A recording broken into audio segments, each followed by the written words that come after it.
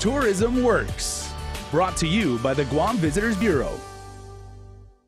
My horse, Old Town Road, gonna ride till I can't no more. Make some noise for Rose, you guys. We love you, girl. You are so talented. Thank you for being here with us. My name is Rose Laguaña, and I'm originally from Guam. And um, I've been a touring musician for the last 19 years of my life. Um, and I'm super blessed about that. I am the daughter of Carlos Tenorio Laguaña and Rosemary Pablo Laguaña. Um, originally from Mongmong Toto-Maite, and pretty much all over, all over the, all over the island.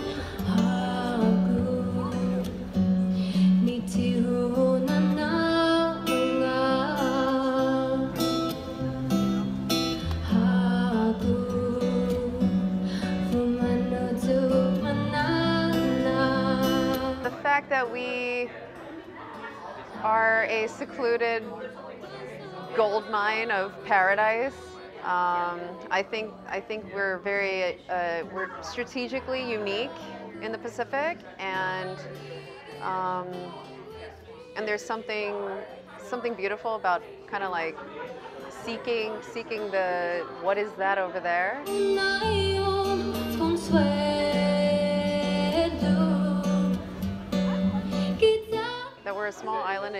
Pacific. I like to educate them in knowing that we are very humble people. We exercise respect, humility, and, and peace. And, um, and that we're very proud. We're a very proud, resilient community and very welcoming as well.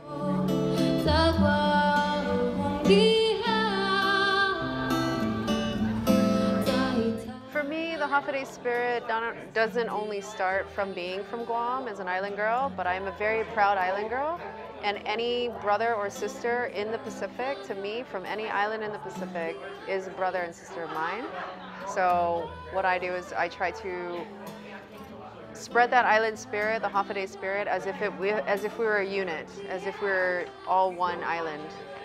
Um, and so the island life is, is, is very is a very beautiful life and I don't take it for granted and I, I love I'm very proud to be to be from Guam.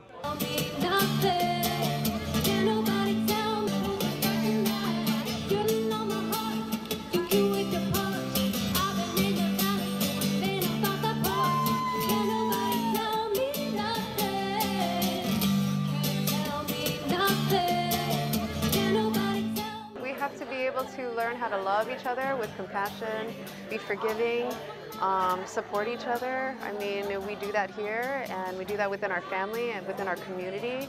And when I step off this island and I land foot anywhere else in the world, I try to maintain the, the level of, of respect and integrity of our people.